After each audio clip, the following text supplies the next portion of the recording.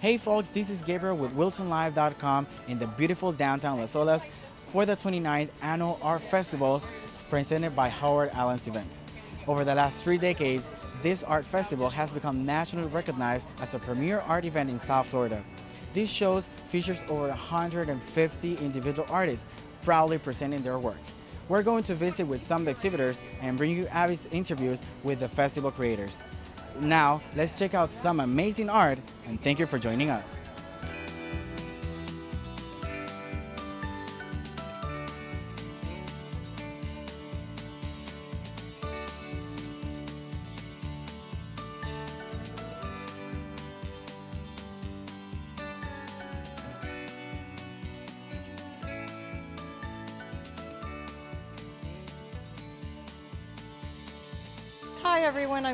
Clausen. I'm an artist and I'm from Dwight, Illinois, which is 80 miles southwest of Chicago.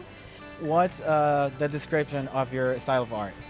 Well, I call it ribbons of color. So I take a, a- an image of a popular personality like Lincoln and I turn it into a colorized version. And I always start with the eyes first, in fact, the pupils, and then from there I work outward. Hi, my name is Stephen Penafiel. I am an oil painter from West Palm Beach. I do large scale oil on canvas, and my style is sort of an art deco, and I call it melodic deco. And the reason I call it that is because it, it's sort of derived from um, the, the art deco movement, and then I call it melodic because it's based on musical theater. Hi, I'm Doug Fountain. I'm known for my Native American artwork that I do that you see like this. I live here in Fort Lauderdale and in Colorado. All the feathers that you see in my pieces are fallen feathers. They're from the bird aviary, so no bird is harmed. They're all recycled pieces from the fallen feathers. I work with a gourd, and then everything I do is all a Venetian plaster over recycled Dryvit, which is a construction material. So I've been doing it full time for 22 years. Hi, my name is Pavlina. I'm from Bulgaria and I moved to Miami 10 years ago and I make acrylic paintings on linen. I do my paintings uh, based on photographs, but they're not exact representation of the photographs. I um, do a lot of underwater uh, pictures and then I paint everything by hand. This particular piece is called Catharsis because it just reminds me of the cleansing that uh, water, you know, gives you. When you swim, you just feel like cleansed. Hi, my name is Roy Rodriguez, and I work with acrylic paintings. Uh, I'm original from Cuba. I live in Miami for a long, long, long time. Please describe us these pieces because it's really interesting to see the gold color and something like leaves. Uh, I did a painting back with gold leaf, and I have another one that is coming up that is also going to be gold leaf. But in this particular one, I wanted to use the, the paint, the acrylic paint, the ink, the dripping that I use. I like the dripping. That's another story. Uh, but then the gold leaf, uh, when when when the sun or the light hits it, it really really pops. It, it lights up. It's really really uh, uh, like she's she's alive. It's very shiny. She, so yeah, it's, it's a different technique. Hi, everybody. This artist here is Sit Soon Un. He is Chinese. He goes by Soon, his middle name. He's originally from Indonesia. He's a mixed media artist. He's been doing this for many, many years, notably here in South Florida for uh, the past 10 years. But 2011, I tried with the new with the pencil, and a lot of people love it. After then, from there, I developed with the different style the hair, of the layer kind of stuff. My name is Sydney Carter from Atlanta, Georgia, and my medium is acrylic paints. Uh, I use uh, acrylic paints. Uh, underneath, I build a lot of texture because acrylic doesn't give you texture, so I build my own. So it's kind of like sculpting first and then painting uh, over it. Uh, building the texture makes the painting looks almost 3D. So you know, I, I build it up first, um, and then once I finish building the, the texture, I paint over it, and, and then I start adding different details. The texture gives you depth, you know, like I said, and, and it gives it like a 3D effect. I'm, my name is Michael Vistia, and uh, I'm an artist here in Sarasota, over here in Fort Lauderdale today. And um, my medium is oil on canvas, accented with automotive metal flake. Well, first I get the emotionality of the breed. You know, that's the most important. You know, each breed has a specific way about them, and uh, so I kind of tune into that. I guess that's kind of a uh, uh, kind of a mental aspect, more of a psychic thing. You're just getting into that breed. That's first. You could consider this maybe uh, the initial sketch of a realistic version, but then adding the, the colors, you know. Hi, my name is Sue Chang. I'm from Chicagoland area, uh, particularly in Downers Grove. Um, I work in the medium of acrylic painting on canvas with paintbrush and palette knife as well. Um, I've been doing this show on and off for about 15 years. Please describe us your technique that you use in your piece of art. So, you know, I do acrylic and, and, painting on canvas as well as I do a lot of oil pastels on paper. Oil pastels are like a softer version of a crayon. So what I do is I melt it down just like an oil painting and then um, melt it down with the turpentine and paint it onto the watercolor paper with Q-tip and paintbrush. So something I learned 30 plus years ago in high school. I had a really good high school teacher and it's still one of my favorite mediums I use. You got to really know the medium and you just have to be in control of it versus the medium in control of you and then you can really mess it up. We do this show three times a year and there's a reason we do it and it's every year it just gets bigger and bigger and we love it. We just love coming here. We have Dan Schaefer here sitting with us ready to talk with us a little bit about his responsibilities as director of Howard Alan Events. Thank you so much for being here. Good to be here. It's a fun. Howard and Debbie have done a great job in, in, in building this up over the years. And when you have two to 300 artists, you've got to have a system. You've got to be able to put it together. I mean, here we are in Las Olas tonight, and we will start having people arriving anytime after midnight, putting their show, everything on the side of the street, and then at 5 o'clock we'll let them know, hey, it's time to put it up, and Tent City goes up in a matter of the next two hours but we have fun, you know, uh, to the best of our ability to, to make the show run as smooth. The artists come to us. We're providing a service to the artists. Okay. And so we want to make sure that we give them the best opportunity to sell their work and to, dem- to display their work. I live in Winter Park, Florida. My name is Colleen Ardeman, and my medium is usually oil. Who or what inspires you in your artwork?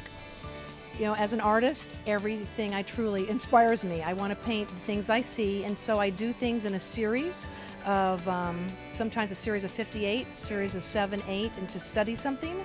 So, like behind us, we have um, citrus. I did many of this series, or I've done figurative studies. So, just um, to learn something to progress and make it more beautiful.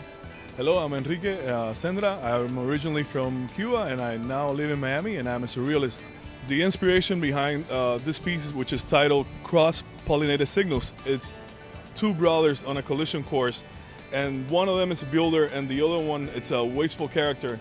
So he's been blinded, blinded by it, by the smoke that he's burning in his wheelbarrow, and he he cannot see his even his own brother going in, in the same path, and but he can see him, so he will he will be able to avoid the collision. So that's basically the, the main idea behind it.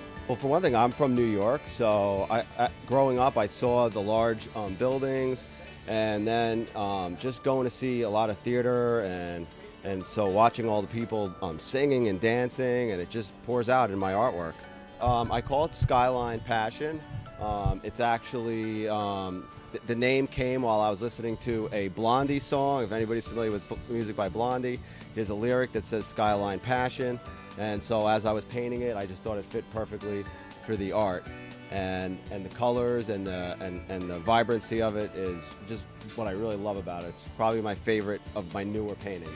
Hi, my name is Nick Roman, and I'm an artist that works with um, glass, blown glass, and metal, and it would be stainless or aluminum. Everything I do is one of a kind. I don't use any molds, everything is one of one and I actually take blown glass and I combine it with metal, which I think is a very unique marriage. I think um, it's something very different and it's very whimsical, obviously, as you can see. Everything I do brings a smile to your face. Also, I'm noticing that all your pieces has a small heart. Obviously, you do it with love. I do it with love, and it gives them soul. You know, the heart represents life, and it gives them that soul and, and, and life that they deserve. Ever since I moved to Florida, my art became all about uh, water and swimmers, but I've always been into painting uh, figures. And uh, Michelangelo's work inspires uh, these paintings because he makes the most beautiful male figures. And even though my paintings are pop art and modern, um, the original inspiration comes from his work. I can notice that the majority of her pieces are women yeah. and they have like a hard lips. What does that mean to well, you? women's, we all come from women's. You know, it's nothing more beautiful in life than your mom, you know. Uh, so to me, that's that's that's very nice. And and and and the woman's is something something you know beautiful. My main thing with the woman's is is what is on the head, you know, because I put everything, all the energy here in the on the headdress, because it's, it's it's what I see. Uh, I, I really go into people's. I mean, trying to think what what the woman's thinking, you know. And your heart means life, it means energy, it means everything, and not, nothing more beautiful than putting in into a woman's face. Who or what basically inspires your art? Um, that's a good question. Um, I, I think anything that has humor in it, I think is very important. I think everybody needs a smile on their face nowadays, especially. So I try to go with something that's very bright and obviously that has some humor in it. What you're seeing here now is a culmination of six years of evolution of pencil sculptures. It happened about six years ago, right? You had a um, somebody you did you did a um, an art in pencils for somebody, and it took off, and they just loved it. It was the happy mistake, and an interesting thing to see. Young kids and older people will come up, and they'll approach the art with their hand out and they interact with it, which is cool. I mean, there's a lot of art that you can look at and you can see, and your interaction is limited to your emotional. You can physically interact with this art. Hi, Julie. Welcome. Thank you so much for sharing a moment with us to talk to us about your beautiful art behind me. Thank you, Abi. Thank you for having me. Can you tell me a little bit about this piece? So this is watercolor and ink, and I work on canvas, and my work is very simple and minimal, but I think it has a good feeling about it. I love nature, so lot, I do a lot of uh, flowers and trees, and you can see that my style has kind of an Asian feel to it. Absolutely. Is that, do you use the nature as your inspiration for most of your art? Absolutely. That, that is always the starting point. So this is, you know, a mangrove tree. Oh, and, and the name of this piece? Uh, mangrove a go-go. I love that. I love that. That's so fun. Well, it does look like it's dancing, doesn't it? It's, It a, it's a very active piece. What makes Howard Alan events special for you? I think the people, they, Howard and Debbie are able to draw in fantastic people, buyers. Um, year after year, people come here looking for great art. Uh, it's something that I hadn't heard of uh, until I uh, met with Howard Alan, and, and it's just a beautiful, beautiful venue.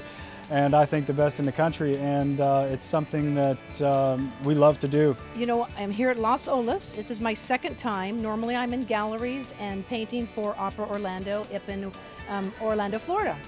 A lot of us here know each other, so there's a there's a community here, and we we pretty much you know go follow Howard Alan shows all over the country. Howard Alan has been good to me. Uh, I've been uh, with them for about 12 years now, and uh, it's, uh, it's you know steady uh, making good money and uh, putting my kids through college, and so it's been wonderful. You know.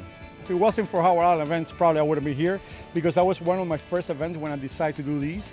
And he he he let people that are starting artists give the opportunity to showcase their art, to, to put their arts, you know, on the streets, and you can see that that motion between arts and, and people. And this event was one of the very first events that we did eight years ago, but we've now, as they've been growing, been very fortunate to grow with them. When I'm at an art show like this and I walk up and down the the streets and I look at all of these different artists and their their creative visions and everyone is so different and so unique.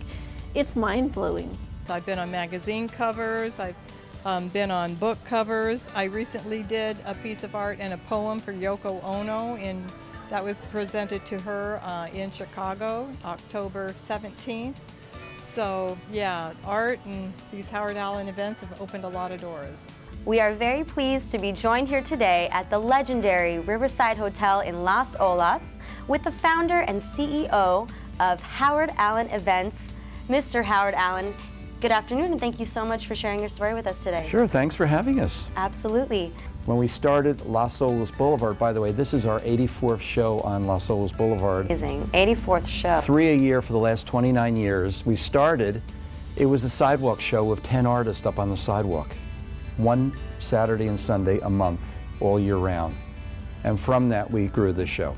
It's like a Ripley's, believe it or not, there'll be 275 artists here. Picture 275 galleries lined up next to each other. These are artists. So their creative lobe works better than their business lobe.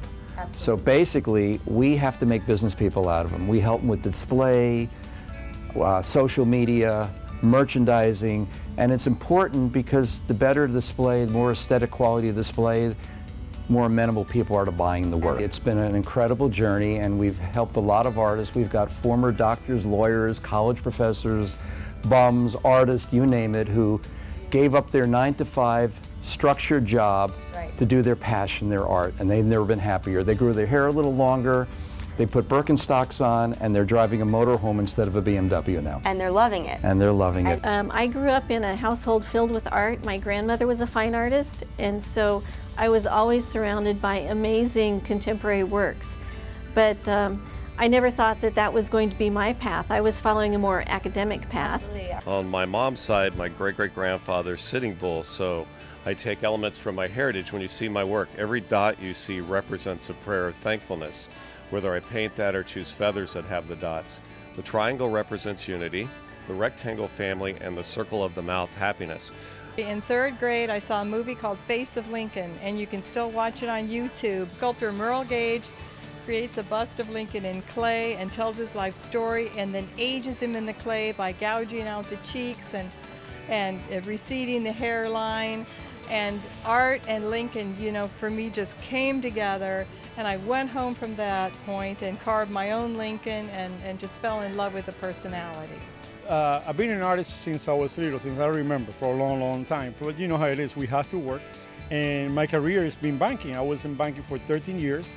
And then back when everything went wrong with banking, I, uh, I got laid off.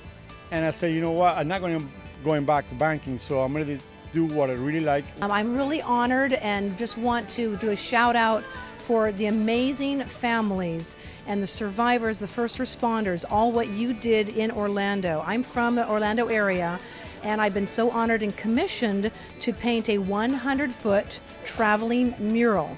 Floating on top of that whole entire background will be the portraits of all 49 people that died. And so will actually be um, on four foot by 10 foot panels.